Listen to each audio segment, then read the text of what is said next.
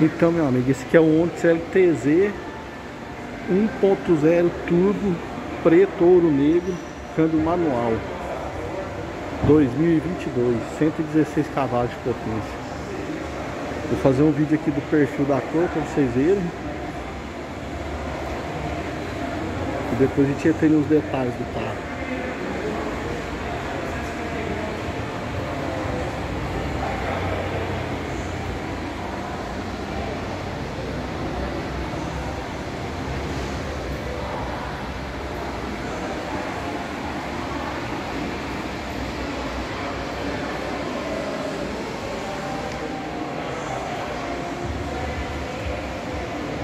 Vamos lá.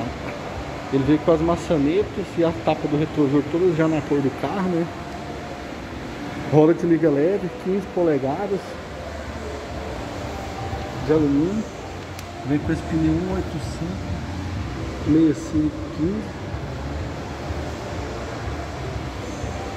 A tapa do retrovisor, as maçanetas na cor do carro. Ele tem aqui essa, esse botãozinho cromado, que a chave dele é com sensor de presença. Então você consegue destravar e travar o carro só apertando aqui, já funciona direitinho. O repetidor de seta dele aqui na lateral esquerda e direita do carro tem, na lataria dele. Aqui na frente vê com o farol de lâmpada comum. Já tem o farol de número original de fábrica. A tampa do radiador cromada nas bordas. A gravatinha dourada da Chevrolet no centro do carro na lateral esquerda.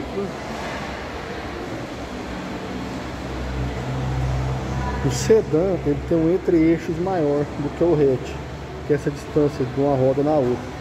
Então ele dá um espaço melhor para o passageiro atrás aqui, dá mais conforto no banco de trás do carro do que o hatch. O porta-mala grande, né, sedã, Toda vez que você vê Onix Plus, quer dizer que está falando do Onix Sedan. Muita gente procura o Prisma, né? Mas o Prisma saiu de linha. E esse é o carro que está no lugar agora, que é o Onix Plus. Ele vem com adesivo tudo, em cima, cromado, né? Do lado direito.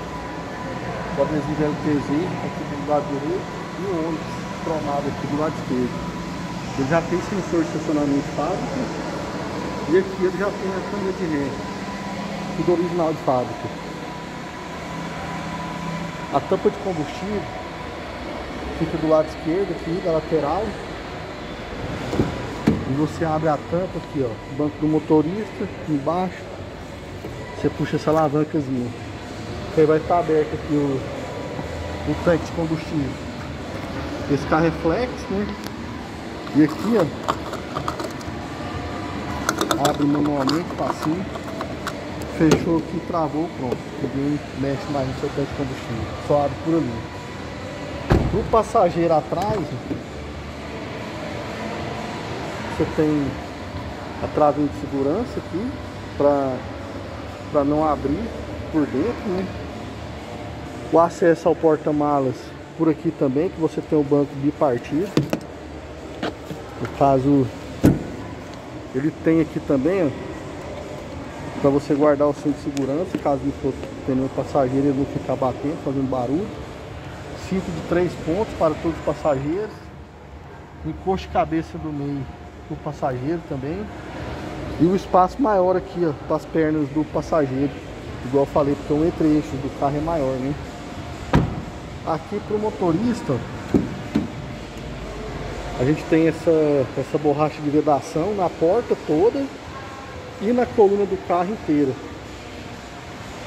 Isso aqui traz menos ruído para o carro de várias formas, né? Tanto ruído externo quanto ruído de próprio carro batendo lá com a outra, porque as borrachas ficam em contato, não deixa esse, esse rangido de, de metal batendo. Aqui, ó, os comandos do vidro elétrico do motorista, né, dos quatro vidros, aqui você pode travar para não abrir o vidro traseiro o ajuste elétrico do retrovisor é aqui e a maçaneta dele nesse cinza fosco. Ajuste a altura da poltrona do motorista e aqui o ajuste das costas. A direção dele é elétrica, igual tenho falado em todos os vídeos já, que gera aí alguma discussão Essa direção elétrica, ela não só melhora o conforto do carro, como ela também melhora na questão da segurança, que ela trabalha junto com o freio ABS. Quando o ABS é acionado, a direção trava. Para o carro não fazer assim esse movimento de esquerda e direita. Ele continua com a roda girando, ele não trava o movimento da roda, ela segue girando. Só que você não consegue girar o volante para a esquerda nem para a direita, ela fica em linha reta. Então, isso traz mais segurança, você não perde o controle. Inclusive, se alguém entrar em pânico nessa hora e tirar a mão do volante, você não vai perder a direção do carro. Isso dá bem mais, além do conforto da direção, que ela é muito leve, pelo fato de ser elétrica, ela também fica mais segura. E também, ele já veio com seis airbags, ele tem um airbag de cortina que abre todo para o passageiro lá atrás até aqui, então até os passageiros traseiros tem essa segurança a mais. Aqui em cima, sistema de rastreamento OnStar, que já vem, aqui o botãozinho azul, que é do concierge, o vermelhinho que é do emergencial, e esse aqui é o segredo que eu falo em todos os vídeos. Se alguém quiser saber, me procura. Esse botãozinho branco. Aqui você tem a, o MyLink, que faz o espelhamento do Android Auto do CarPlay. O que, que é esse espelhamento? Ele transfere aqui é, aplicativos, por exemplo, como Waze, Google Maps, Deezer, Spotify, para a tela. Então você não vai precisar de mexer também. E a multimídia, quando pro Uber, por exemplo, ele recebe uma corrida e põe para navegar, ele já joga o Waze direto aqui na tela. Então você não vai precisar mais de colocar celular pendurado por aqui. Você, você navega tudo por aqui, ó. Aqui, ó, no volante, ah, desculpa, vamos continuando aqui. Aqui as saídas do ar condicionado. Trava, destrava, abertura automática do porta-malas. Pisca-alerta e o controle de tração e estabilidade, que já vem no carro também. Controle de tração e estabilidade, para quem não conhece, vou dar um exemplo simples aqui. Você entra numa curva em alta velocidade e o, e o carro começa a perder a traseira, você perde a direção do carro, ele conserta a direção. Ele divide a força aí de aceleração entre as rodas e conserta o carro certo? Então é muito seguro. Seis airbags, direção elétrica acionada junto com ABS e mais controle de tração e estabilidade. É muito seguro esse carro. Tomadinha USB para carregamento e transferência de dados. Tomada de 12 volts, elétrica. Câmbio manual de seis marchas, que deixa o carro bem mais potente e também não força o motor em momento algum, ele trabalha tranquilo. Aqui você tem o porta-copos e o encosto de braço com o porta-objetos. No volante, que a gente não conversou ainda, aqui a gente tem o limitador de velocidades que não é piloto automático, tá? É limitador de velocidade. Aqui a gente tem a gravatinha dourada da Chevrolet e aqui os comandos do controle de som no volante. Aumenta o volume, diminui, atende o telefone, desliga e troca de música por aqui se em algum momento tiver conectado lá no Spotify ou no Deezer, por exemplo, você troca por aqui de música. E a rádio que está já programada no som também. A rádio que você já tiver programado no som, você consegue mudar ela por aqui. Ele tem um acendimento automático do farol, você aciona por aqui, ele, porque ele tem o sensor crepuscular. Então você entra num ambiente escuro, ele acende o farol automaticamente. Mas para você não tomar a multa, você vem aqui e liga o farol, tá? Porque esse automático só liga no ambiente escuro. Aqui você tem acesso ao menu do computador de bordo. E dentro de cada menu você acessa por aqui, ó. Você pega essa alavancazinha e gira ela para cima e para baixo. E aqui você zera o computador de bordo. Você aperta e segura aqui, ele vai zerar.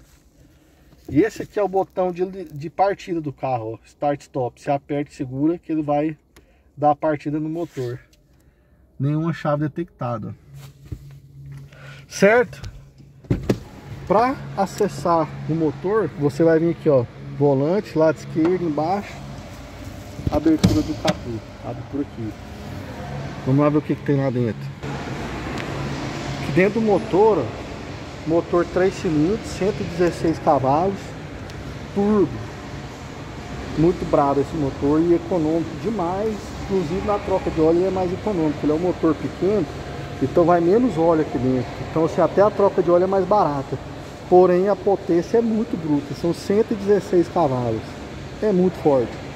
Tem motor 2.0 que não dá isso. Aqui, ó, para abrir o capu, você tem essa alavancazinha bem no meio, aqui onde é a gravatinha aqui, ó. Girou para direita e liberou o capu. A vareta, ela fica guardada aqui, ó, nesse pontinho amarelo. E na vareta você tem essa borrachinha aqui para você não queimar a mão, porque se o motor estiver quente, essa vareta também vai estar tá quente. Aí você usa essa borracha para não queimar sua mão na hora de abrir o capô.